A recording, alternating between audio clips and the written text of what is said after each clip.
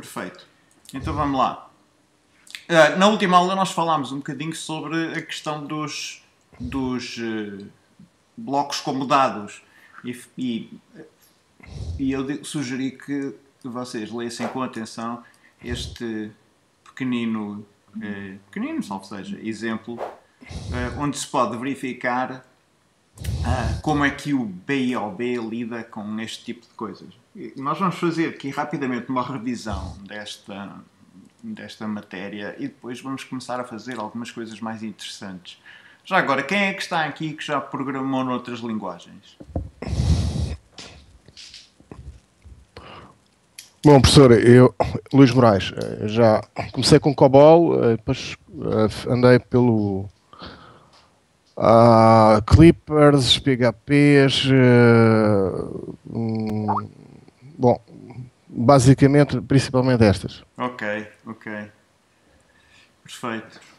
Então vamos hoje fazer aqui umas brincadeiras interessantes com o BIOB, onde vocês vão perceber como é que os dados podem ser, os blocos podem ser usados como dados para reproduzir algumas estruturas de controlo que existem noutras linguagens. Ok? Então vamos começar por aqui. Uh, notem que eu criei. Ah, vou só esconder aqui esta janela que não me interessa, está aqui só a acomodar. Esta também, não quero sair daqui porque. Ok. Portanto, eu criei aqui uma variável chamada o predicado. A razão para ter criado esta variável aqui, ao nível do ator, o Alonso, uh, prende-se com o facto de eu querer que ela apareça aqui sempre no ecrã, para nós todos podermos ver o que é que esta variável contém. Ok? Bom, neste momento ela contém ainda o resultado de uma execução anterior, portanto não vamos ligar a isso. Eu vou executar agora este conjunto aqui de dois blocos para vermos o que acontece. Portanto, como veem, a variável passou a conter o valor verdadeiro. E passou a conter o valor verdadeiro porque nós a alteramos para o resultado de uma expressão lógica. E essa expressão lógica diz Será que o texto vazio é igual ao texto vazio ou que o texto vazio é menor que o texto vazio? A segunda condição é claramente falsa. A primeira é verdadeira. Um ou de verdadeiro ou falso é verdadeiro, o resultado é verdadeiro. Ou seja, é este predicado que aqui está, ou, e os predicados que estão dentro dele, de alguma forma, estão embutidos aqui dentro, foram todos calculados e o resultado final foi usado para alterar o predicado. É natural então que quando o uh, Alonso diz o predicado pareça verdadeiro. Isto é, ele está basicamente a dizer o resultado da execução deste conjunto aqui de blocos. Até aqui tudo bem.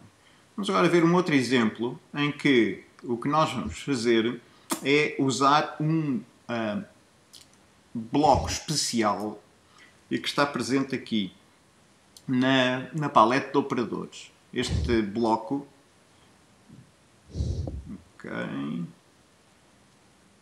Ah, se houver algum problema, avisem-me via som, está bem?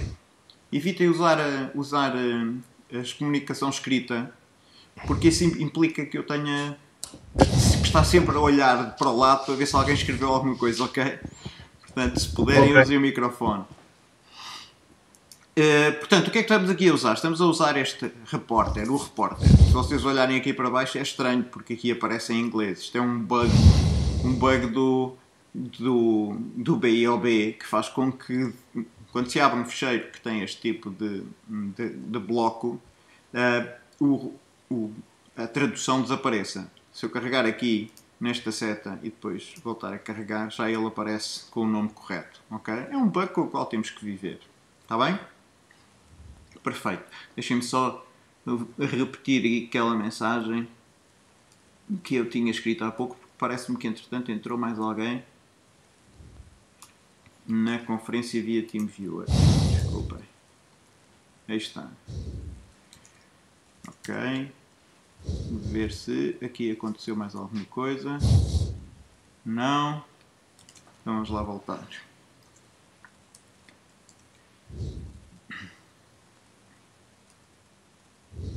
Vocês também veem aqui a própria janela do TeamViewer de lado? Sim. Eu vejo-a toda cinzenta, a sua. Sim, sim, sim. Ok. É igual. E, e agora desapareceu. Desapareceu. Ok, Perfeito. Apareceu. ok, está melhor. Ah, raios. Cada vez que alguém. Alguém entrou com vídeo. Bom dia, Rui, estás bom? Estou-te a ver. se, puderem, se puderem desligar o vídeo, eu vou. Porque o vídeo consome largura de banda, não se esqueçam. Rui Dias, estás com vídeo. Rui Dias. O Rui Dias está com vídeo. Eu vou tirar aqui o vídeo dele. Ok. Pronto, o Rui Dias já não tem vídeo, coitado. Vamos ver é se, entretanto, toda a malta comunica através do Skype. De maneira que vou repetir aqui de novo a mensagem. Isto pode tornar, tornar a aula assim um bocadinho mais interrompida, mas espero que vocês não, não se chateiem. Ok. Portanto, aqui embaixo estamos a usar este bloco especial ao repórter. Este bloco especial ao repórter o que faz é, é com que o, o, qualquer que seja o repórter que nós coloquemos aqui dentro, ele não seja calculado. Ele seja tratado como dados, como o repórter em si, e não como o resultado da sua invocação. Ok? Portanto, para verem a diferença, eu posso, por exemplo, colocar. Aliás, temos isso aqui em baixo, olha, a diferença. Eu, eu vou andar com a seta para a direita e depois para a esquerda para voltar a aparecer em português. Ok? Portanto, apareceu o repórter. E vejam a diferença. Aqui em baixo eu estou a usar o repórter e depois passo exatamente o mesmo bloco que eu tinha aqui em cima. Aqui em cima, se eu carregar, aparece verdadeiro. Aqui, se eu carregar, aparece o repórter propriamente dito. Ok? O que significa que se eu executar estes dois blocos que aqui estão, o que vai ficar uh, guardado na variável o predicado vai ser o repórter e não o resultado da sua invocação. Na realidade, o que fica guardado dentro do predicado não é propriamente o repórter, é uma referência para o repórter. Ok?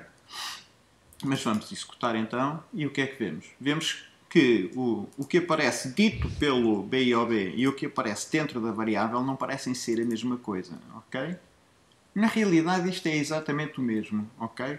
Portanto, é um guião, no fundo, definido aqui na hora e que reporta o, o valor da eh, invocação deste eh, predicado que aqui está, é? Obviamente que quando nós uh, executamos esta instrução e ficamos com a variável, o predicado a referenciar o repórter, ainda não invocamos nada. Como é que nós podemos invocar? Podemos invocar usando um bloco especial que está no, uh, na palete de controlo e que é o resultado da invocação de, que em inglês é simplesmente call. A tradução, já sabem, isto deve ser bug do BIOB, se eu carregar na seta para a direita e depois na seta para a esquerda, já aparece exatamente aquilo que era suposto. Ok? Portanto, o que é que vai aparecer aqui? Se ele carregar em diz o resultado da invocação de o predicado durante 2 segundos. O que acontece é que ele vai dizer, vai executar o predicado, que é referenciado por esta variável chamada o predicado, que tem lá dentro esta, este reporta, e vai, portanto, resultar em verdadeiro porque como nós não indicamos entradas, como nós não indicamos aquilo que se chama os argumentos, não passamos nada para dentro desta invocação, vão ter vão, vão estar vazios, portanto vão ser texto vazio igual a texto vazio, que é obviamente verdade. Portanto, vamos então executar e o resultado é verdadeiro. Muito bem. E então, se quisermos passar entradas, o que é que temos que fazer? Para passar entradas, o que fazemos é carregar nas setas e uh, selecionar o número de uh, entradas que, que pretendemos passar para dentro do bloco. Este bloco, lembrem-se, call é exatamente a mesma coisa que o resultado da invocação de. A razão para surgir aqui como call é, mais uma vez, um bug do BIOB.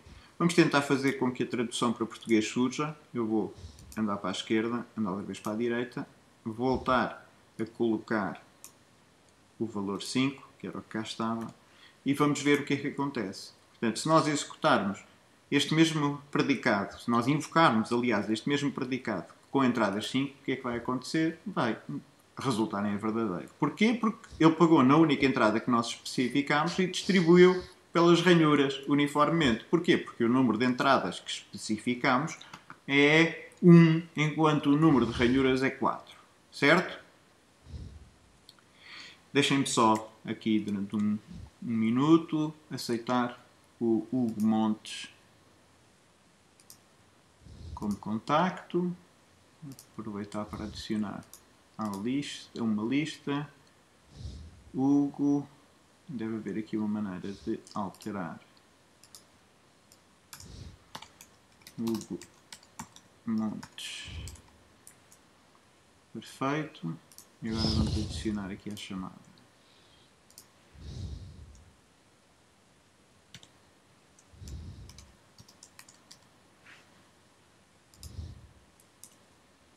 Ora, está.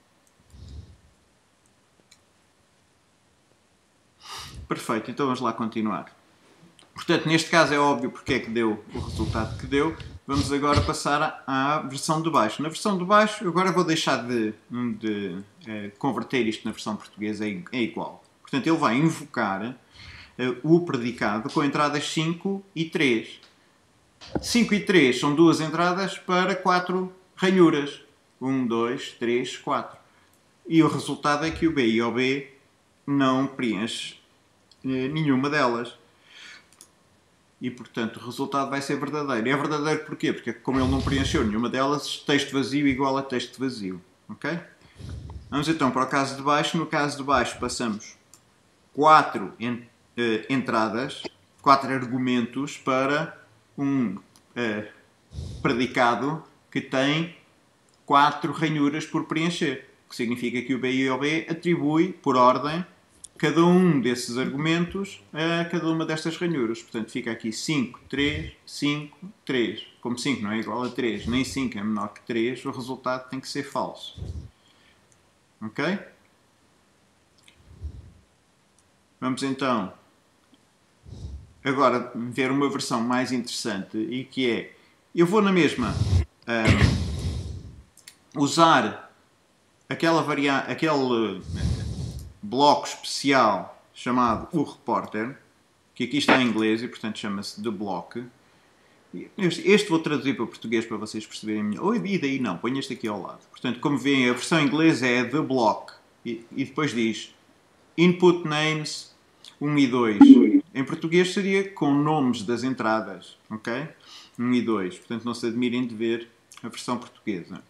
Então o que é que eu estou aqui a fazer? Estou a passar exatamente o mesmo bloco, mas estou a dizer, estou a definir explicitamente os nomes de variáveis de entrada para este bloco, que são a variável eh, cardinal 1 e a variável cardinal 2. Estes são os nomes dados por omissão pelo BIOB para, para entradas de blocos criados desta maneira. Eu deixei assim porque, como o nosso predicado também não faz nada de especial, não, não vale a pena estar a pensar em nomes que tenham uma semântica mais, mais interessante. Por outro lado, podia dar nomes como o primeiro, o primeiro operando e o segundo operando, mas isso faria com que o bloco ficasse demasiado grande para aquilo que eu quero aqui mostrar nesta, nesta demonstração. Ok, portanto agora, o que é que eu fiz? Como já dei nomes às entradas, vai ter duas entradas com, com os nomes Cardinal 1 e Cardinal 2, eu posso usar Ui. Alô? Estou, eu estou a ouvir. Quem é, quem é que entrou? Alô?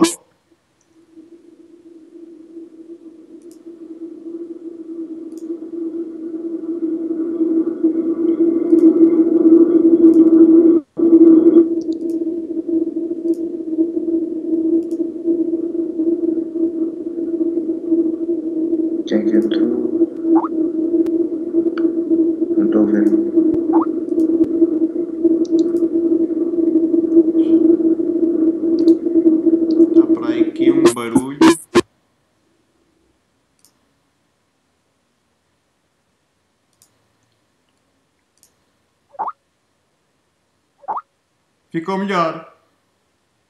Agora conseguem todos ouvir? Conseguimos. Aleluia. Pronto, tio, o que é que eu fiz? Cortei o, cortei o som de toda a gente via, via TeamViewer, está bem? Mas não cortei o meu microfone. O meu microfone continua ativo. Quem tiver.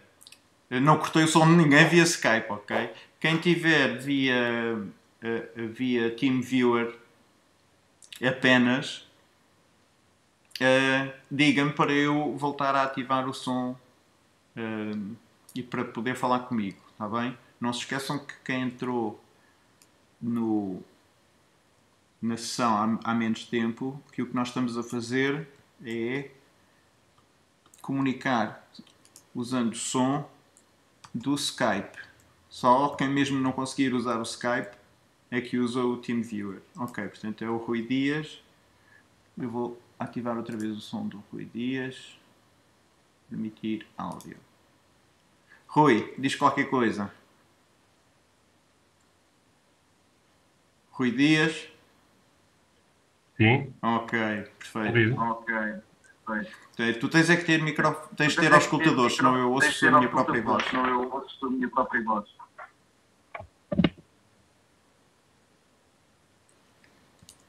Deixa-me só verificar se entretanto chegou mais alguém. Não. Então vamos lá. Portanto, onde é que nós estávamos? Estamos- Estávamos aqui, tínhamos atribuído nomes de entradas e agora eu posso usar os nomes das entradas em cada uma destas ranhuras. Portanto, eh, o que é que isto faz? Faz com que eu possa reutilizar a mesma entrada em dois destes, eh, destes pre- subpredicados, digamos assim. Ou seja, a primeira entrada do meu, do meu predicado globalmente vai ser o primeiro operando do igual e o primeiro operando do menor. E a segunda entrada vai ser o, primeiro, o segundo operando do igual e o segundo operando do menor. Ok? Vamos então executar este. Professor, Sim, eu não percebi como é que, que criou as, as variáveis. ok. Estás a ver aqui este bloco chamado repórter? Sim, Este bloco chamado repórter é exatamente o mesmo que este de bloco, está bem? Se eu guardar este ficheiro e o voltar a abrir, ele estupidamente converte-me este bloco que está com o texto em português num texto em inglês. Ok? ok. Como é que eu faço? Normalmente o- este bloco chamado repórter não tem aqui entradas nenhumas. Eu carrego na seta para a direita e ele vai-me criando entradas. Ok? Às quais eu posso depois mudar o nome. Certo? Ok, ok. Como é que eu faço para colocar aqui dentro eh, predicados ou eh, repórteres ou o que quer que seja? Posso simplesmente arrastá-los cá para dentro. Portanto, se eu quisesse fazer aqui o repórter que dividisse a primeira entrada pela segunda, convenhamos que isto não tem assim um grande interesse, porque o que ele faz basicamente é uma divisão, ok? Eu eh, eh, usava o bloco repórter desta forma. Diz, diz. Não, já compreendi. Ok. Portanto, o, o que resultava era isto, como vocês veem. Como é que eu posso invocar isto? Bom, invocar, vocês já sabem, é aqui no, no, no controle, vou buscar o bloco, o resultado da invocação de, passo lá para dentro o bloco que quero invocar, digo quais são as entradas, por exemplo, 1 e aqui 3. E o resultado qual é que vai ser? É que adivinha? Não é, não é preciso muita coisa, não é? Portanto, eu tenho aqui o repórter. Entrada 1 a dividir pela entrada 2, que eu estou a invocar com entradas 1 e 3. O resultado vai, obviamente, ser um terço, não é? De acordo? De acordo. É só uma forma um bocadinho estranha de estarem a invocar o- o- a divisão com um terço, que eu podia fazer diretamente. Correto? Podia fazê-lo diretamente assim. 1 e 3. E de facto, quando eu quiser dividir 1 por 3, é isto que faço. E não vou fazer esta, esta versão complicada, ok? Esta versão complicada tem utilidade para fazermos outro tipo de. de, opera- de- de- para resolvermos outro tipo de problemas, digamos assim, ok? Portanto, vamos ver, já temos aqui o nosso predicado, está guardado dentro da variável o predicado e vamos invocar durante eh, dois e, e invocá-lo aqui com o call, sem passar nenhuma entrada e dizê-lo durante dois segundos. Vamos ver o que é que acontece. Portanto, ele diz verdadeiro. Diz verdadeiro porquê? Porque nós não passamos entradas e, portanto, eh, percentagem 1 e percentagem 2 estão vazios e, portanto, obviamente são iguais. Ok? E por isso é que ele diz que são verdadeiros. Então o que é que acontece se eu passar 5 apenas, que é o que está aqui em baixo? Se eu passar 5, a primeira entrada fica com 5 e a segunda fica vazia. Portanto, notem que aqui, ao contrário do que acontecia quando eu não estava a usar nomes explícitos das entradas, em que ele pegava no, no único argumento que eu usava e distribuía pelos, pelas ranhuras ou slots disponíveis, aqui, como eu disse, entradas explícitas, e não preenchi uma delas, essa fica vazia, a outra fica preenchida e ele distribui a, preenchida no sítio, no, no sítio correspondente a ela, não é? Portanto, aqui é o cardinal 1, e a vazia nos sítios correspondentes ao cardinal 2. Como 5 não é igual ao texto vazio, nem 5 menor do que o texto vazio, o resultado, naturalmente, é. Ups. Verdadeiro. Ok, quem é, que, quem é que consegue reproduzir este mesmo problema? Experimentem vocês fazer isto no vosso computador e ver o que é que acontece.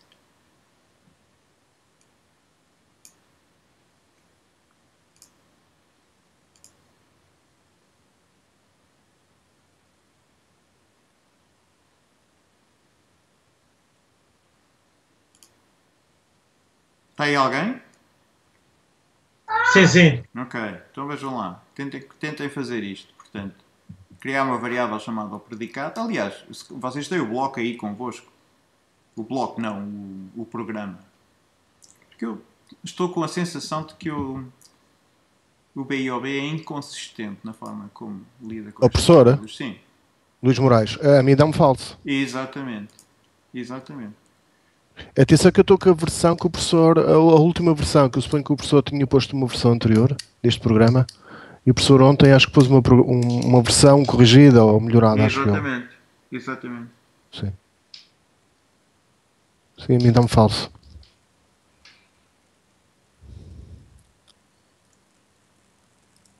O resultado é agora falso, o que é curioso. Ah, agora já deu. Uau, uau.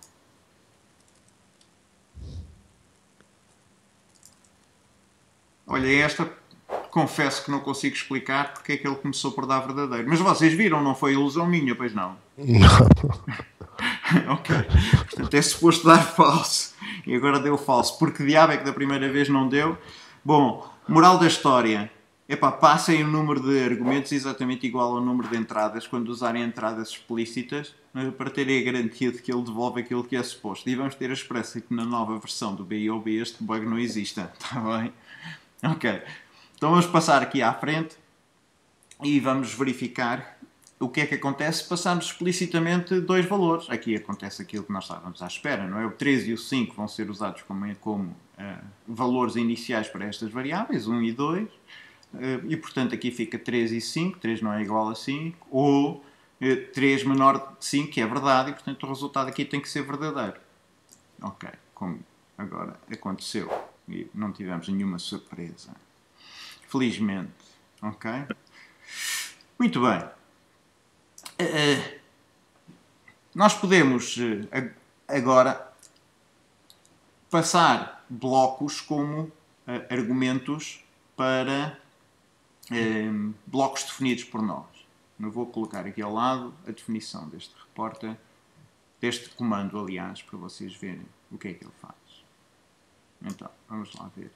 Portanto, vamos olhar para ele. Ele é um comando, ok? Portanto, tem esta forma dos comandos, com a reentrância no topo e a protuberância em baixo. Chama-se diz o valor da invocação do repórter. O repórter, vamos ver o tipo do, desta entrada. Ok, esta entrada é do tipo repórter. O tipo repórter é compatível com os predicados, portanto não vai haver problema por aí. Podemos passar um predicado sem problema, mas neste caso vamos passar repórteres. Portanto, esta entrada é do tipo repórter, vou aqui cancelar. E depois, com entradas, primeira entrada, segunda entrada, que são entradas normalíssimas, ok? Que aceitam qualquer tipo, certo? O que é que ele começa por dizer? Diz assim: eh, Vou dizer o repórter e depois diz o repórter recebido. Depois diz a junção deste texto que vai resultar em, vou dizer, a invocação do repórter, aqui falta um do, com as entradas, e depois diz primeira entrada e segunda entrada, e depois põe um ponto final. Depois de dizer isto durante 2 segundos, invoca o repórter que recebeu com estas duas entradas. Ok? Quem é que está aqui causar problemas? Alô? Não, agora está bom. Portanto, vai haver uma diferença entre o, o, aquilo que vai ser mostrado primeiro, que é simplesmente o repórter, e aquilo que é, que é mostrado a seguir, que é a invocação do repórter. Vamos então executar, passando para, para como primeiro uh, argumento para este, para este nosso comando o bloco da soma. E uh, com entradas 5 e 3. O resultado não é aquele que nós poderíamos esperar. Porquê? Porque o que nós estamos a passar não é o, o, o repórter propriamente dito, mas sim o resultado da sua invocação. Portanto, mais uma vez, como nós aqui colocamos este repórter diretamente no local de uma entrada, ele está simplesmente a admitir que eu estou a invocar o repórter e que quero passar para dentro do meu comando o resultado da sua invocação. Ora, o bloco mais, se eu invocar sem passar entradas, o que faz é somar 0 mais 0 e portanto dá 0. E é por isso que quando eu executo este meu comando, o resultado é, vou dizer o repórter e afinal não diz o repórter, mas sim zero. E quando ele invoca, não aparece nada. Ok? Então, o que é que eu preciso de fazer para passar o bloco propriamente para dentro deste, deste meu comando? Preciso de envolver o bloco, o, o repórter, dentro deste bloco especial chamado o repórter, que em inglês é the block. Se eu carregar aqui para a direita e depois para a esquerda, ele já aparece com a tradução portuguesa. Portanto, diz o valor da invocação do repórter mais com entradas 5 eh, e 3. Agora reparem na diferença. O que vai entrar cá dentro e vai ficar aqui nesta entrada chamada o repórter é uma referência para este repórter aqui. Portanto, quando ele aqui disser o repórter, o que vai aparecer vai ser justamente o bloco mais. E quando o invocar, aqui embaixo, com entradas entre primeira entrada e segunda entrada, essa primeira entrada e segunda entrada tem os valores 5 e 13 e, portanto, o resultado vai ser 8. Vamos então ver. Vou dizer o repórter, aparece o repórter propriamente dito. Vou dizer a invocação, com 3 e 5 dá 8. Ok? Aqui embaixo estamos a fazer exatamente a mesma coisa, mas com uma notação mais simpática. A diferença que há entre esta caso e este caso aqui é que em torno do bloco está uma borda cinzenta. Esta borda cinzenta significa eu não estou a calcular estes blocos que estão aqui dentro da borda cinzenta. Eu estou a tratá-los como blocos que são e a passá-los como tal para dentro deste meu comando. Como é que eu consigo fazer isto? Eu vou arrastar para fora.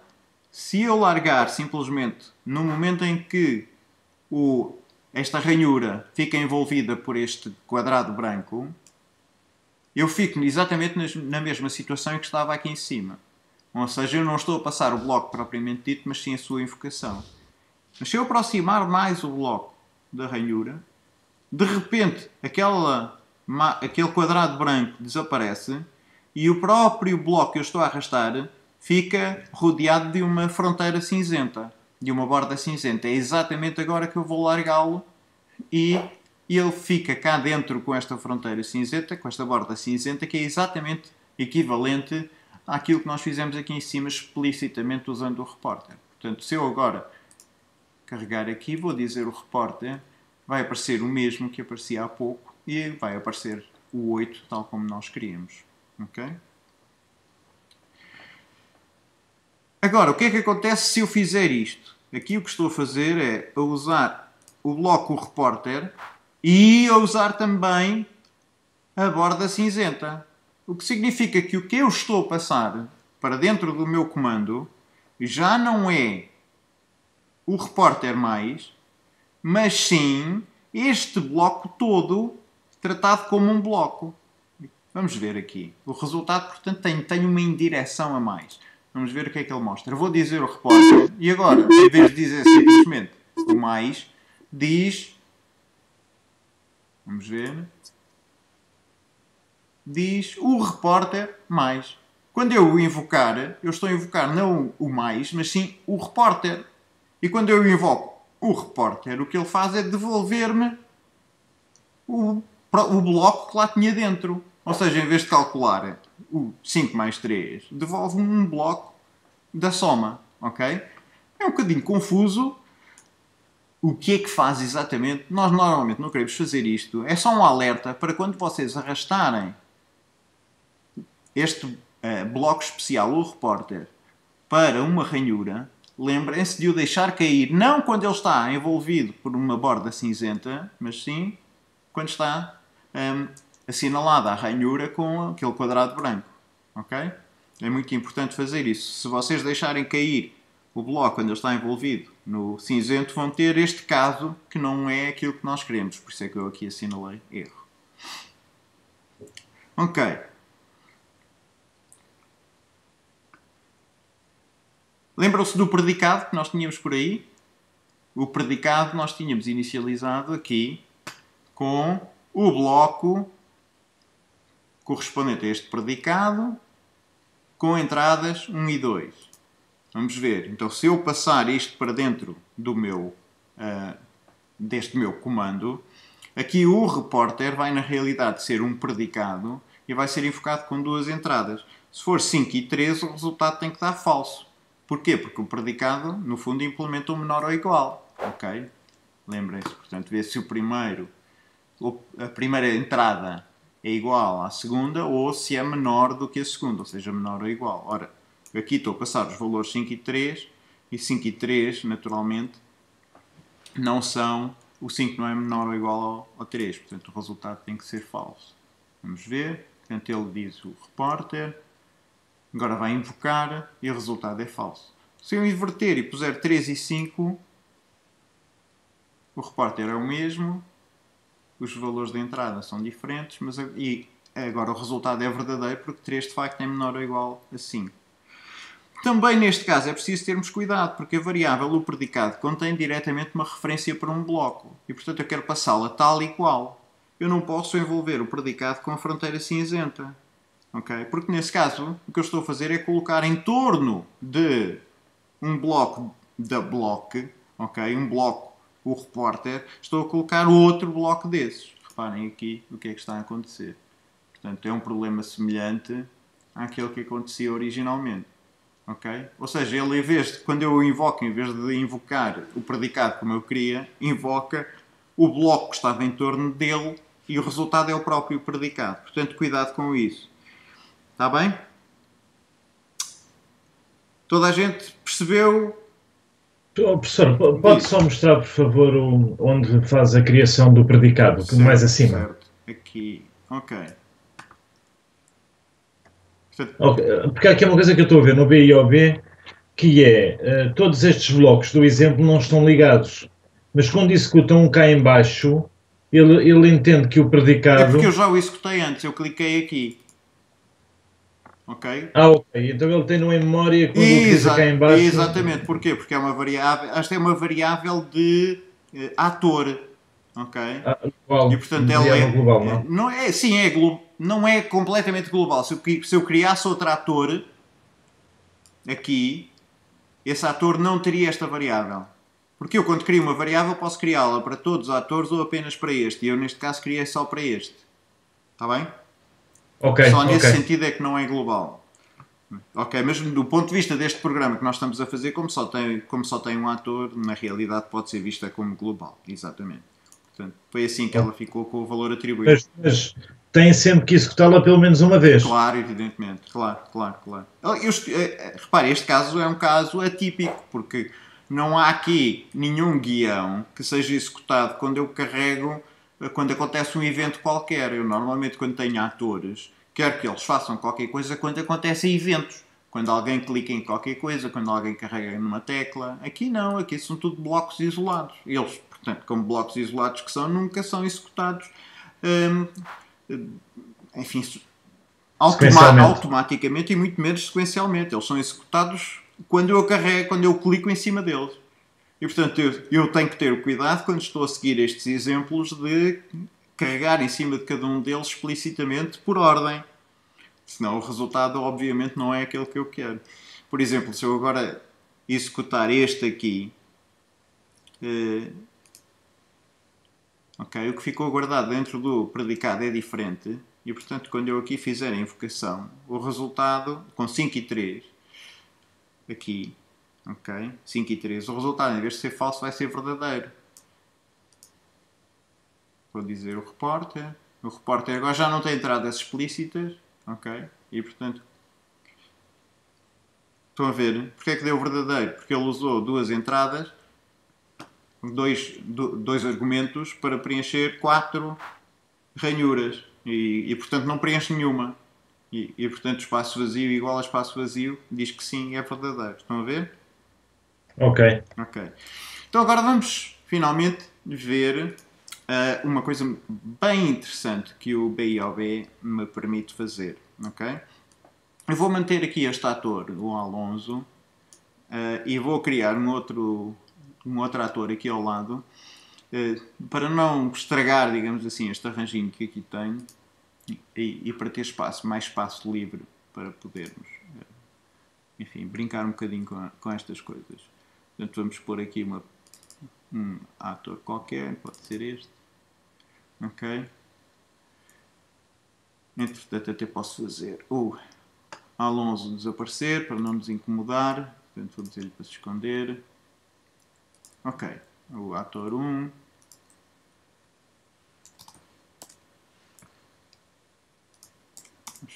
Fica simplesmente assim. E agora vamos fazer qualquer coisa de, de interessante. Reparem. Eh, como é que eu posso apresentar-vos isto? Vamos aqui às estruturas de controle. Ok?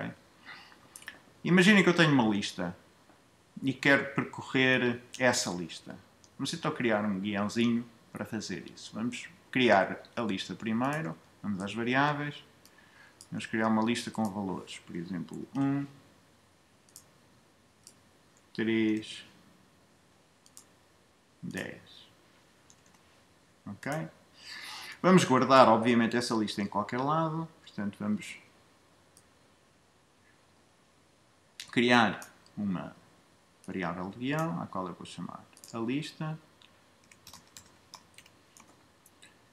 E vamos depois dizer que quero alterar a lista para este valor. Ok? Se eu agora ter aqui a aparência e pedir ao ator para dizer a lista durante 2 segundos, o resultado vai ser que a lista aqui aparece. Se eu quiser dizer cada um dos elementos desta lista isoladamente e um de cada vez, eu vou ter que percorrer os itens desta lista. Correto? Como é que eu posso fazer? Vamos ver que há muitas formas de o fazer, mas claramente preciso de um, de um ciclo. Para fazer um ciclo, tenho várias hipóteses, ok? Uma delas é usar simplesmente uma repetição, ok? Se eu usar uma repetição, quantas vezes vou repetir? Se quiser dizer cada um dos elementos dos itens da lista de sua vez. É o comprimento da lista. Certíssimo. Portanto, venho aqui e vou à procura de um bloco que me diz o comprimento da lista. Está aqui. Portanto, coloco aqui o comprimento de lista. Tenho que arrastar para aqui a lista. Ok? Vou repetir o comprimento da lista. O quê? E agora cá dentro vou dizer qualquer coisa. Correto? E vou dizer o quê? Vou dizer um qualquer dos elementos da lista. Da primeira vez deve ser o, o, o item 1, da segunda vez deve ser o item 2, da terceira vez deve ser o item 3, da- daquela lista que ali está. Correto? Portanto, eu quero que este valor que está aqui vá evoluindo. Para isso, o que é que eu preciso fazer? O contador? tem que acrescentar, não, é, não, não, não lhe vamos chamar contador, porque ele não é um contador. Reparem, eu, eu quando ah, dou um nome contador a uma variável, significa que eu estou a contar qualquer coisa. Sei lá, estou a contar os elementos que são pares na lista. ok? Aqui eu não estou a contar. Aqui o que eu estou a fazer é iterar. Portanto, é- na realidade é uma, é uma variável que é um índice e é simultaneamente um iterador. Os nomes que eu dou tipicamente a estas variáveis, e que, embora não cumpram as regras de hum, variáveis com nomes semanticamente significativos, etc., mas que são tão comuns em programação que ninguém se ofende se as usamos, são i, j, k, m, n. Portanto, aqui vamos usar uma variável chamada i. Ok? Portanto, vou criar esta variável aqui. Eu não criei lá em cima porque é uma boa prática em programação criar as variáveis tão próximo quanto possível do primeiro local onde elas são necessárias. Agora vou alterar o valor do i para 1. Ops, perdão, não era isto que eu queria. Vou alterar aqui para 1. Porque 1 é o primeiro índice da lista. E agora vou usar a variável i para indexar a lista. Ok? Posso pô-la a dizer qualquer coisa de mais interessante para nós sabermos o que é que está a acontecer usando aqui a operação juntar. Então posso dizer qualquer coisa como isto. O valor do item i. Bom, agora queria juntar i da lista, tenho que fazer outra junção, não é? Portanto, venho para aqui. Do item i da lista é preciso de outra junção. Do item i da lista é e agora quero pôr o valor e um ponto final. Preciso de outra junção. Ok? Portanto, vou pôr aqui um ponto final. E agora vou finalmente colocar i da lista. Ok? O resultado, portanto, é este. Diz a junção de o valor do item com i a junção de i com a junção de a lista é depois ponho a junção do item da lista propriamente dito, desculpem lá, tive de desligar aqui o telefone, com um ponto. Ok? Vamos lá executar tudo isto e ver o que é acontece. Ele mostra a primeira lista completa e agora diz: primeiro item da lista é 1, segundo lista é 1 e o terceiro é 1. O que é que faltou aqui? A qualquer- acrescentar um Exatamente. Portanto, depois da ação do ciclo, eu tenho que, colocar o progresso do ciclo, ok? E o progresso do ciclo é fazer o iterador evoluir de 1, ok? Perfeito. Vamos então. O valor 1 da lista é 1, o, val- o valor do item 2 da lista é, e o 3 é 10, ok? Portanto, temos aqui um ciclo que nos permite dizer todos os itens que estão dentro da lista. Ok? E se nós pensássemos assim, o, que eu gostava de fazer na realidade era, para não ter que repetir este código em todos os sítios em que preciso, eu gostava de criar um bloco para isso. Ok? E portanto, gostava de criar um bloco para dizer todos os itens da lista. Vamos criar um bloco, um comando. Ok? Comando, aparência, ok? Diz os itens da lista ah, um por um. Perfeito. Vamos criar isto para todos os atores, não nenhum. Está a haver aqui feedback. Ok, quem é que será o responsável? Também estão a ouvir este barulho esquisito? Ah, agora está melhor. Não, Não, agora está bom. Ok, diz os, os itens da lista um por um, vamos criar e vai ter. Vou criar uma entrada, diz os itens da lista a lista. Eu vou dizer que esta entrada é do tipo lista, naturalmente, um por um. E agora o que eu faço é simplesmente arrastar cá para dentro estes blocos. Ok?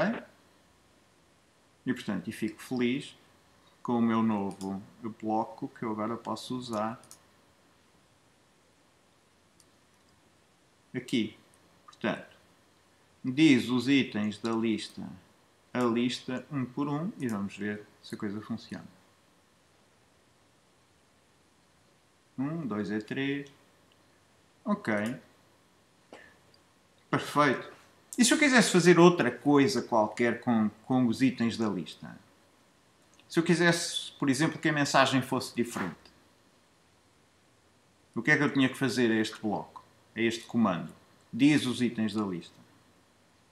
O problema é que este comando, diz os itens da lista, tem, está muito agarrado a uma forma específica de fazer coisas com os itens da lista. Eu se calhar achava mais graça uh, que este bloco fosse um bocadinho mais genérico e eu pudesse de alguma forma passar-lhe informação acerca do, do que é que ele deve fazer com cada item da lista. Ok? E é isso que vamos fazer. Eu vou criar um outro bloco, vou deixar aqui este para referência. Eu vou criar um outro bloco mais interessante do que este. Ok? E agora vamos devagarinho para vocês perceberem exatamente o que é que está a acontecer. Ok? Vou criar um bloco ao qual eu vou, vou dizer que pertence agora ao, à paleta das listas, porque ele já não vai necessariamente servir para dizer os itens de uma lista. Ele vai aplicar um determinado comando okay, aos itens de uma lista. Vamos ver. Portanto, para cada item da lista. Fazer. E vamos criar assim. E agora vamos ver o que é que vamos fazer. Para cada item da lista aqui eu vou tirar esta vírgula e depois acrescento a vírgula depois ok? Para cada item da lista agora vai receber a lista. Fazer, vou pôr aqui a vírgula antes, fazer o quê? A verdade é que eu agora gostava de poder, de alguma forma, escrever algo semelhante àquilo que nós tínhamos aqui original, com o nosso uh, repete, ou como nós poderíamos fazer com o até que. Ou seja, eu gostava de ter um bloco que tivesse uma reentrância dentro da qual eu pudesse colocar aquilo que eu quero fazer com cada item da lista. Então vamos acrescentar aqui uma entrada a seguir ao fazer. Ok? Vamos já, antes de lhe dar um nome, ver as possibilidades que nós temos. Temos aqui uma que se chama C-shape. Ok? Ou seja, forquilha. O que é que é uma forquilha? Uma forquilha é um comando e eu posso, uh, portanto, dizer que esta entrada é do tipo o comando.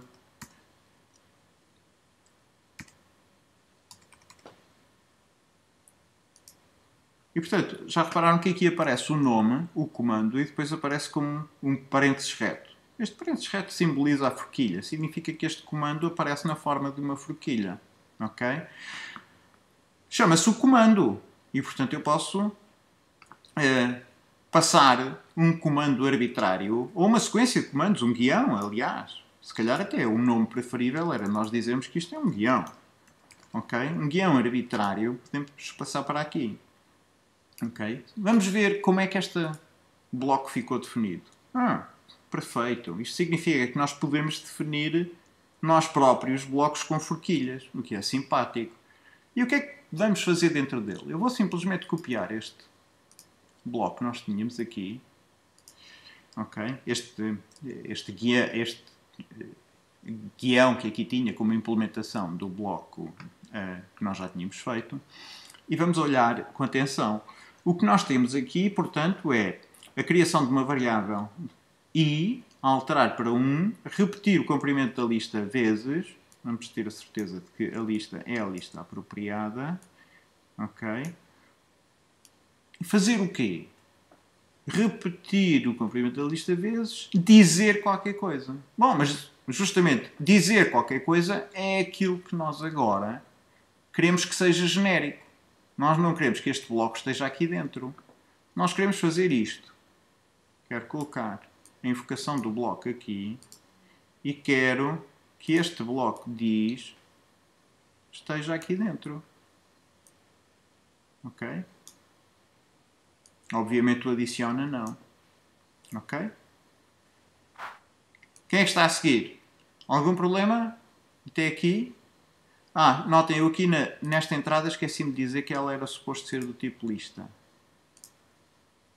Ok? Pronto, agora já aparece aqui com o tipo apropriado. Portanto, eu estou a passar a lista e estou a dizer para cada item da lista, a lista fazer isto. Ok? Que problemas é que eu tenho aqui? É que não tenho i.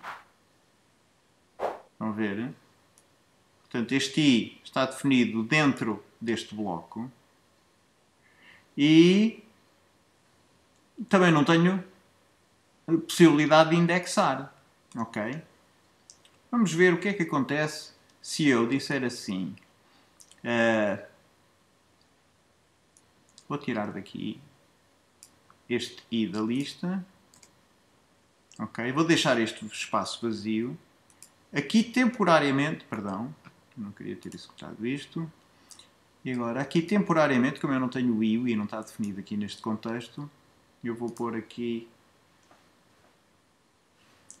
eh, um cardinal, está bem? Isto é apenas para depois nós resolvermos o problema mais tarde. Ok? E agora? O que é que acontece se eu mandar executar este bloco? Neste momento não vai acontecer nada de interessante. Deixa-me só manter isto aqui. Porque o nosso comando ainda não está pronto. Deixa-me só arrastar, tirar este da frente e vamos ver o que é que acontece. Ele diz 1, 2, 1, 3 e 10 e depois hum, não pareceu ter feito rigorosamente nada. Porquê? Porque nós dentro do bloco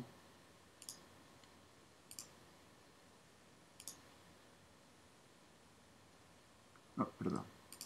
Dentro do bloco para cada, nós não dissemos em momento nenhum para executar o guião.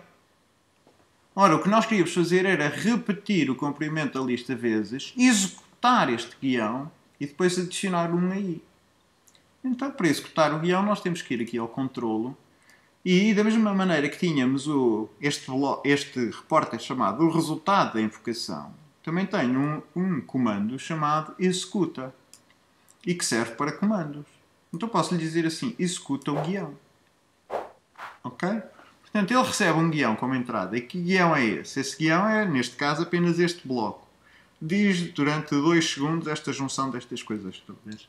E dentro do ciclo que está dentro deste bloco chamado para cada item da lista, o que eu faço é mandar esse guião executar. Ok? Vou guardar e vou editar outra vez para vocês continuarem a ver. E vamos executar aqui o nosso guião. Também vou arrastar isto para aqui para este lado. Vou pô-lo aqui um bocadinho mais em baixo para nós conseguirmos ver tudo o que ele diz. E eu vou executar. Portanto, primeiro diz a lista, depois diz o valor do item. Hum, há aqui qualquer coisa que não está bem. Ok? Ele não está a dizer aquilo que nós queríamos. Como é que nós podemos resolver este problema? Parece que o nosso. eh, Professor, sim, professor sim, diz, diz. Tenho aqui a janela do editor de blocos a tapar eh, a área de onde está o boneco. Não consigo ver. eh, sim, exatamente. Obrigado. Ok. Perfeito. Ok. Então o que é que nós estamos a fazer? Estamos a mandar executar o guião eh, e, e ele ainda não está a dizer nada de jeito. Portanto, não estamos a conseguir que ele diga aquilo que nós queremos. Vamos experimentar fazer a coisa. eh, vamos simplificar a coisa para já, temporariamente. E vamos dizer assim. Para cada item da lista, fazer. Ok, não diz nada. Como é que nós podemos convencê-lo a dizer o item que está cá dentro? Nós, na realidade, para conseguirmos isso, tínhamos que passar. Rui Guerra, espera aí.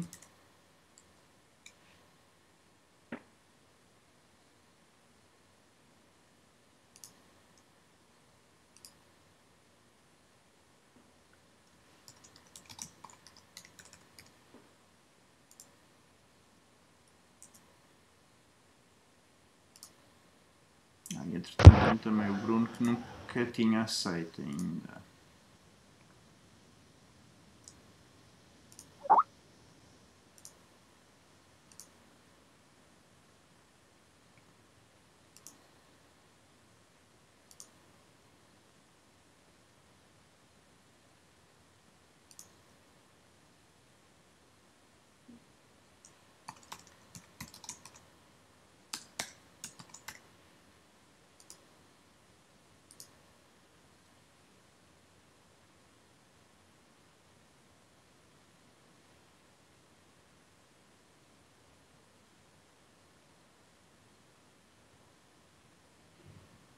Há mais alguém que falte?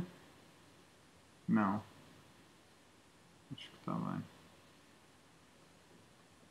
Ok.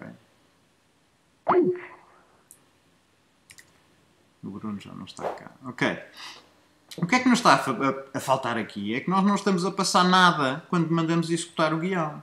E nós tínhamos que, que mandar qualquer coisa. Temos que passar uma entrada. E essa entrada é naturalmente o item I da lista. Ok? Portanto, nós queremos passar ao guião que estamos a receber como entrada e que aqui dentro é este diz, queremos lhe passar o item I da lista. Ok? Vamos ver o que é que acontece, portanto, se fizermos isto. Vamos executar. E o que é que ele diz? 1, 3, 10. Fantástico. Portanto, aqui encontrou um espaço, um- um- uma ranhura vazia e preencheu essa ranhura vazia sucessivamente com os, os os vários itens da lista, começando eh, no primeiro e indo até ao último. Significa que se eu agora voltar a colocar aqui a nossa junção de vários itens, eh, de vários pedaços de texto, ele já vai dizer não apenas os itens isoladamente, mas com uma mensagem explicativa. Ok? Tem, tem de tirar o cardinal, não tem? Hum, o car... É, eu tenho que resolver o problema do cardinal, não é? É que no sítio do cardinal eu gostava que estivesse o I. Como é que eu posso resolver isso?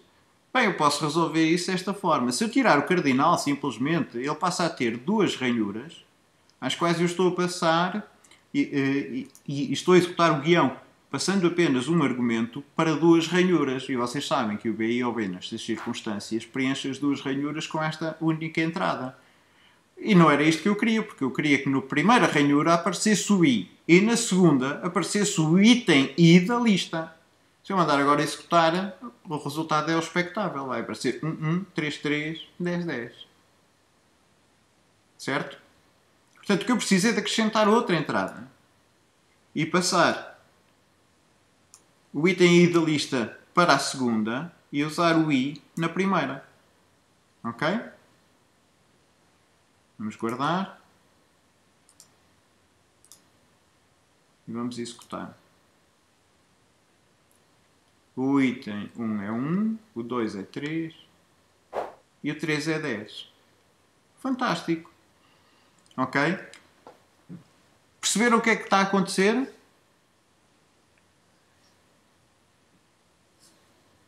Professor, eu só não estou a perceber é, estas ranhuras aqui que, que apresenta, como é que elas passam de argumento, ao fim e ao cabo, para este executa? Ok. Porque dá-me a sensação que esta junção aqui é simplesmente de texto livre, não é? Na realidade, não. Porquê? Porque este bloco diz, todo, está a ser colocado dentro desta forquilha. Esta forquilha corresponde a uma entrada. O que significa que este bloco todo não está a ser calculado, não está a ser executado no momento em que nós o aqui colocamos. Ele vai ser executado apenas quando, para cada item da lista, dentro deste ciclo, nós invocarmos este bloco executa. Ok? Portanto, vai, o que vai acontecer é que o executa vai executar aquilo que recebeu aqui como sendo o guião, que é este guião que aqui está. Este que só tem o diz. Ok? Estamos exatamente nas mesmas circunstâncias em que estávamos aqui. Quando eu invocava um predicado, ok? Passando uma, nenhuma entrada, uma entrada ou duas entradas para um predicado que tinha espaços em branco. Lembras disto? Sim, mas significa aqui também, se colocar então a Ups, junção desculpa, desculpa, de algo desculpa. vazio, ele vai entender que, essa, que o campo da junção é um campo de entrada para executar. eh, Para colocar as entradas, exatamente, é isso mesmo. Portanto, aqui estes dois espaços vazios vão ser usados por ele para preencher aquelas entradas que nós lhe passamos. Ok? Quais? As entradas I e o item I da lista. Portanto, o primeiro espaço vai ficar com o I e o segundo espaço vai ficar com o item I da lista. Por isso é que aparece o valor 1, 1, depois aparece que é índice 1 está o valor 1, depois aparece 2, 3, 2, 3, que é o segundo item da lista é o 3, e depois aparece 3, 10, o terceiro item da lista é 10, 3, 10. Correto? Não me parece muito transparente Isso. a lógica, mas, mas pronto, é assim que funciona, não é? É. A, a lógica de facto não é muito transparente, não é muito claro, ok? E nós gostávamos de fazer isto de outra forma, de uma forma tornasse estas coisas absolutamente claras. Eu vou fazer isso tendo aqui duas, duas entradas adicionais neste meu bloco, ok? Para cada item, agora vou escrever aqui o item, ok? E vou-lhe dar um tipo especial. Ok? O item da lista é qualquer, mas eu agora vou dizer aqui. Estão a ver esta última opção? Tornar a variável interna visível ao invocador. Vou carregar aqui. Ok? E vou dizer, ok. Boa diabo. Agora desapareceu aquele disco, não me convinha nada. Que chato. Bom, eu repito. O diz, não há problema. Aparência, diz. O que é que nós tínhamos? Vejam lá se me conseguem ajudar. Portanto, era a junção de o item na posição. E agora a junção de na posição. E aqui era suposto aparecer o número e depois era da lista da lista é e finalmente aparecia o item da lista e depois no fim um ponto. E portanto aqui devia ser o item cardinal. Eu para já mantenho isto assim. Eu vou fazer aqui uma cópia, não vale diabo de células. Ok? Perfeito. Ah, Já viram o que é que aconteceu quando eu criei aqui esta variável chamada o item e disse que ela era visível no exterior? Apareceu aqui. Ok? Eu posso agora acrescentar aqui mais informação, dizer assim. Para cada item. Eu carreguei ali no da. Para cada item, o item. Em vez de dizer da lista, vou pôr na posição.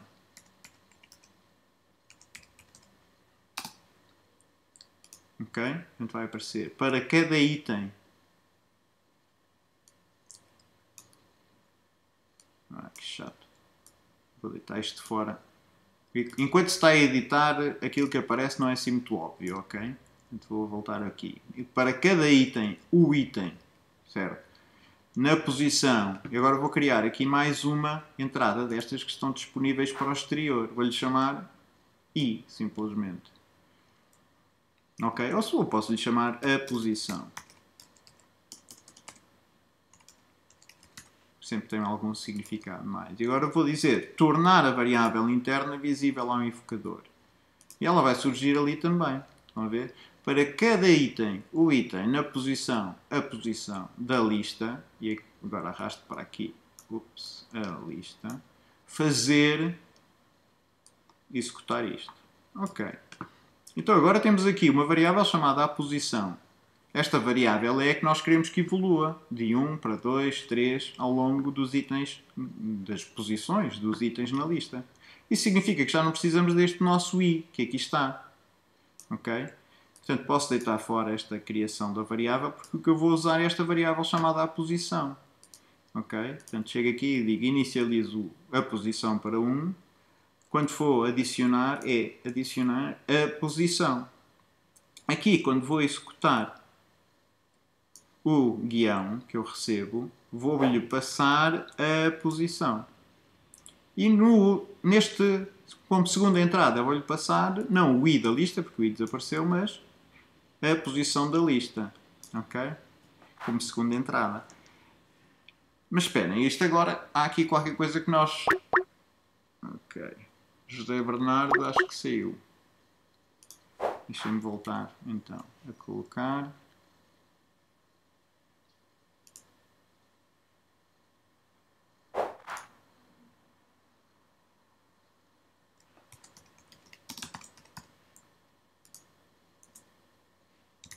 Perfeito.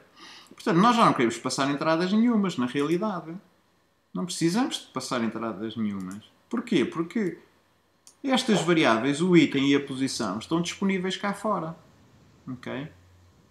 Essa aqui é a grande vantagem daquilo que, que eu estou agora a fazer. Então o que é que eu preciso de fazer? Preciso só de garantir que a variável, o item, contém de facto o item apropriado da lista. Então preciso de fazer uma atribuição que é assim. Antes de executar o guião, vou alterar o item para o valor do item que está na posição de a lista. Ok? Depois executo o guião, adiciono 1 na posição e assim sucessivamente. Ok? Vamos ver. Volto a editar. E agora posso arrastar este bloco cá para dentro. Ups, perdão. E vamos ver o que é que, era, que, é, que é necessário fazer de adaptações aqui dentro. Reparem, para cada item, o item na posição, a posição da lista, a lista, eu vou dizer a junção de o item na posição, aqui não quero cardinal, o que é que eu vou pôr aqui?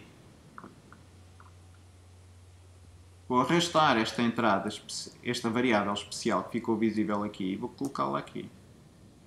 A junção de a posição com da lista é, em vez de ter item cardinal, vou pôr o item. Ok? Assim fica mais claro de ler. Eu, eu enganei, mas junção pus no sítio. Depois fica muito mais claro de ler, exatamente. Deixa-me só corrigir aqui o texto. O item na posição da lista é. Ok. E agora vamos executar então o nosso, o nosso guião. Há alguém que está a fazer aí um grande barulhão. Quem é? Deixamos de ouvir, professor. Deixei de ouvir. Aí? Agora já estou a ouvir novamente. Não estamos a ouvir, professor. Estão-me a ouvir agora? Agora sim. Agora sim. Ok. Rui Dias, eu vou manter o som. O Rui é o único que precisa de som, acho eu. Perfeito. Então agora vamos executar e ver o que é que acontece. Um, dois, três. O item na posição 1 é 1, 2 é 3, 3 é 10. Portanto, faz exatamente aquilo que nós queríamos. E reparem, conseguimos construir um bloco, ok? Que funciona de uma forma perfeitamente clara, que é um bloco semelhante aos blocos de controlo. Inclusivamente, é discutível se este bloco deve estar aqui na palete das listas ou se deve estar na palete do controlo, porque na realidade, embora ele haja sobre uma lista, tem a ver com o controle de fluxo. Portanto, recapitulando, este bloco recebe um guião que não é, é como, como argumento e que é colocado eh, aqui na, na invocação do comando para cada item é colocado dentro desta forquilha. ok? Este é que vai ser o guião que aqui surge. Tem duas entradas especiais, o item e a posição, que ficam disponíveis para eu utilizar fora do bloco, para poder indicar claramente o que é que eu pretendo que seja usado aqui nestes locais. Ok? Dentro do bloco, o que eu faço é usar esta variável a posição para ir percorrendo todos os itens da, da lista, ok? Alterando esta variável, o item, para cada um dos itens da lista e passando depois, e mandando executar depois o guião. Quando mando executar o guião, ele encontra cá estas duas variáveis, a posição e o item, que, que são retiradas daqui, portanto estão disponíveis em cada instante com a posição em que se está e com o item correspondente na lista.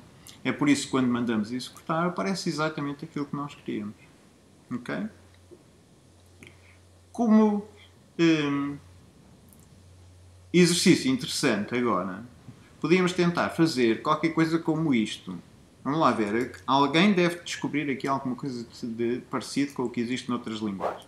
Ok, Vou criar uma nova estrutura de controle e vou dizer, vou-lhe chamar assim.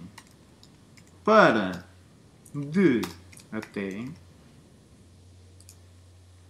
e vamos dizer assim, para i, este i vai ser uma variável visível no exterior. Para i de, agora vamos criar aqui uma, um, uma entrada numérica, ok? Ops, perdão, não era isto eu queria aqui a seguir, ou de criar uma nova entrada numérica de valor, o valor inicial. E vou dizer que é numérico. Até o valor final. E crio um novo valor numérico, uma nova entrada numérica. Estamos a ouvi-lo mal, professor. Ok.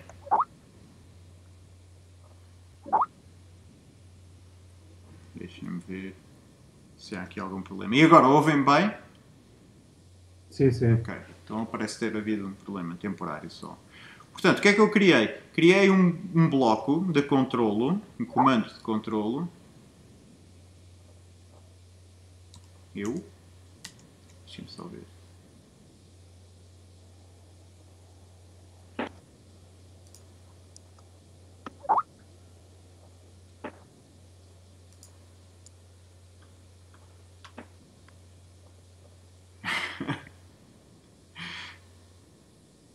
Acho que está toda a gente.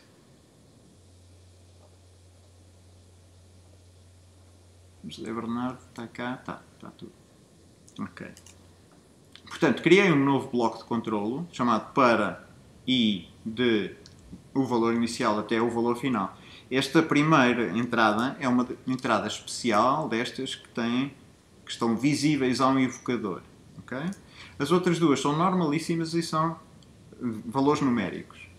E agora vou escrever aqui dentro aquilo que preciso para fazer o i variar do valor inicial até ao valor final. Eu para já estou a simplificar, podíamos tornar este bloco mais sofisticado, eu para já vou admitir que o valor inicial é menor ou igual ao valor final. Está bem?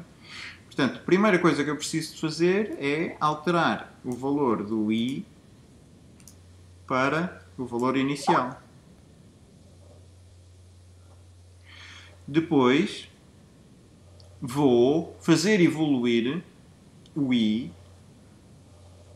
ok? E para isso preciso de uma estrutura de controlo até que se verifique determinada condição. Qual é a condição que tem que se verificar? Eu tenho que executar o que está aqui dentro até que o i seja superior ao valor final mais 1. ok? Seja igual, aliás, ao valor final mais 1. ok? Para garantir que eu atinjo, que eu executo as ações que estão aqui dentro, mesmo dado o, eh, para o valor final. Se eu aqui colocasse como condição exatamente igual ao valor final, mal ele atingisse o valor final, não chegava a executar o que está cá dentro. Já vamos perceber isso melhor quando eu escrever o código uh, correspondente. Portanto, vamos aqui colocar enquanto até que o i seja igual ao valor final mais 1.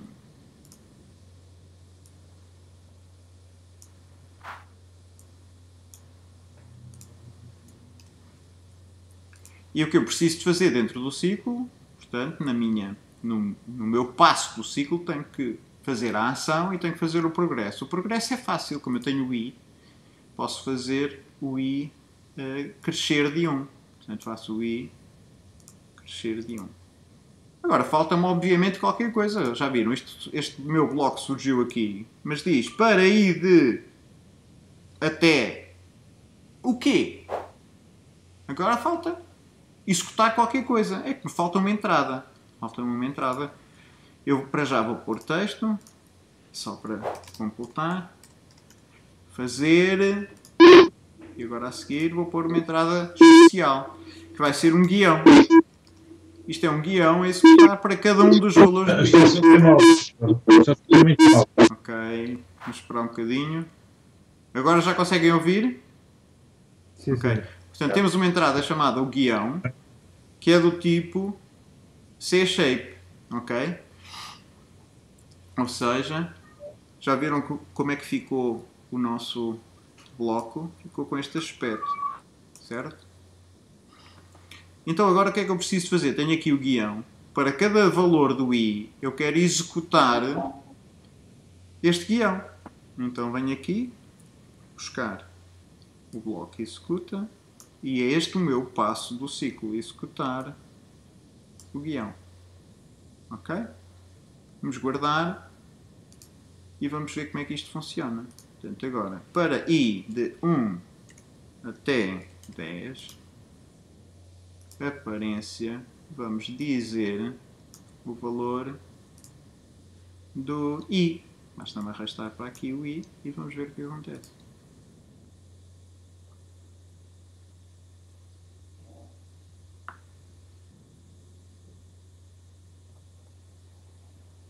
Para aqueles de vocês que já passaram por outras linguagens de programação, este ciclo que nós criámos, porque nós criámos um novo ciclo, reparem, é um ciclo muito comum. É um ciclo que existe noutras linguagens, certo? Todos vocês já viram que passaram por outras linguagens de programação, não, não importa há quantos anos, de certeza que viram um ciclo que era o ciclo for. Um for next. Exatamente. Ok? E que nós implementámos aqui a nosso gosto. E portanto, vocês podem ver que a, a linguagem que nós estamos a usar, BI ou B, é tão sofisticada que me permite criar estruturas de controlo novas. Ok? De uma forma que, não vou dizer que é simples, mas é razoavelmente simples. Usando uma variáveis. Agora deixem-me fechar esta porque nós estamos aqui no outro. Usando variáveis de entrada que ficam disponíveis para quem usa o bloco, aqui este i, entradas normais e um tipo de entrada especial que é do tipo de forquilha, que vai receber guiões que nós podemos mandar executar na altura apropriada do, do, do nosso código. Ok? Ficou razoavelmente claro? É preciso prática agora. Exatamente. Mais, mais manifestações. Ó ó, professor, Sim. Força. Alô?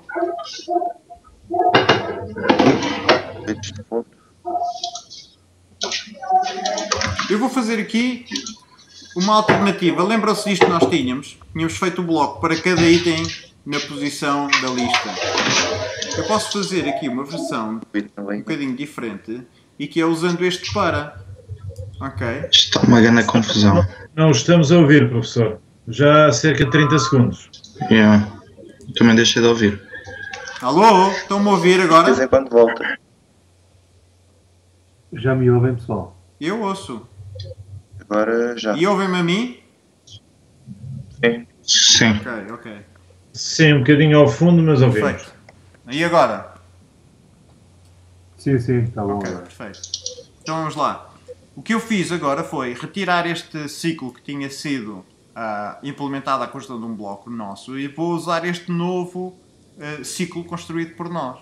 Para ir de 1 até 10 e o que eu queria era que ele dissesse os itens da lista, tal como aqui está. Ok? Portanto, queria, vou duplicar e colocar aqui. Só que eu agora tenho o i 1 até 10. O que é que eu devo fazer? Vou, vou criar um i na mesma, obviamente. Mas também posso dar-lhe um nome diferente. Posso lhe chamar a posição. Ok? Agora tenho esta variável e vou usá-la naturalmente. Ah, vamos ver se ele me aceita isto. Chato. Eu vou arrastar isto para aqui para fora, é mais fácil. Para garantir que esta é a posição que ali está. Ok, portanto ele vai dizer. Estão-me a ouvir ainda? Sim. Ok, ele vai dizer a junção. Ops, pois é. Ficou qualquer coisa de fora. O item na posição. Ok, tens toda a razão. Muito obrigado. Essa ajuda foi preciosa. O it... Portanto, ele vai dizer o item na posição. A posição da lista E depois tenho que dizer qual é o item. Só que aqui não tenho uma variável chamada item, como é óbvio, não é? Isso tinha aqui em baixo porque era uma variável que eu fazia visível fora do bloco para cada item. Aqui eu tenho a posição e tenho a lista. Portanto, posso ir buscar aqui o indexador de itens da lista. Ok? E dizer indexa aqui a posição daquela lista. Ok? E este tornou-se num ciclo que é um ciclo mais usual encontrarmos noutras linguagens de programação. Portanto, uso uma, uma variável.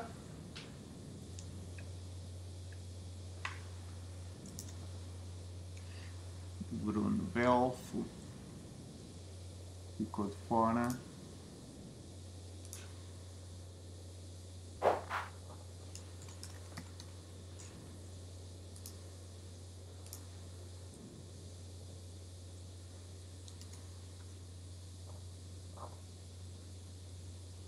Vamos ver se ele entra.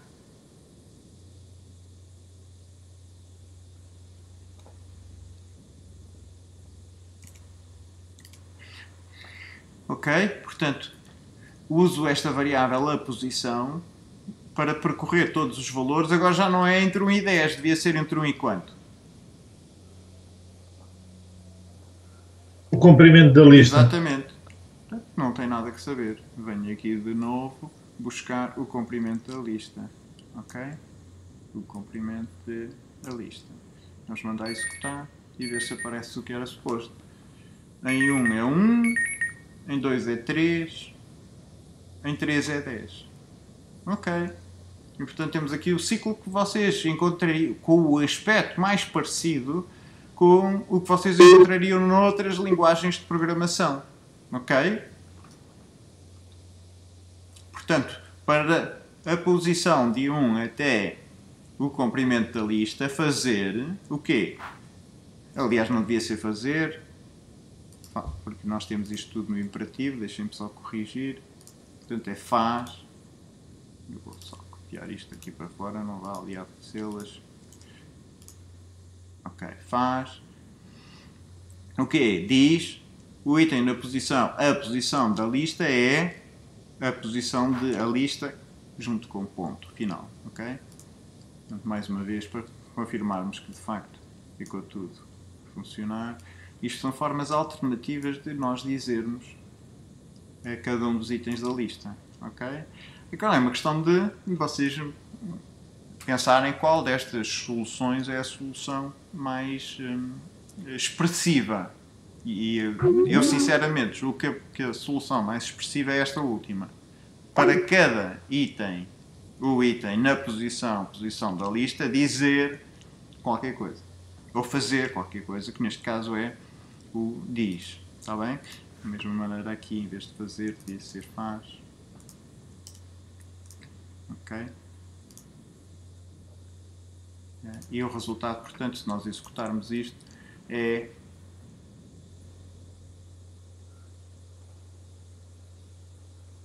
acontecer duas vezes o dizer os, cada um dos itens da lista. Está bem? E pronto, eu vou partilhar convosco este código. Está bem? E, Ok. e depois vocês, que eu recomendo que vocês estudem. Está bem? Amanhã, eh, na aula da noite, o que nós vamos fazer é vamos aproveitar para eh, vermos para cada grupo eh, o desafio 2 e os comentários que eu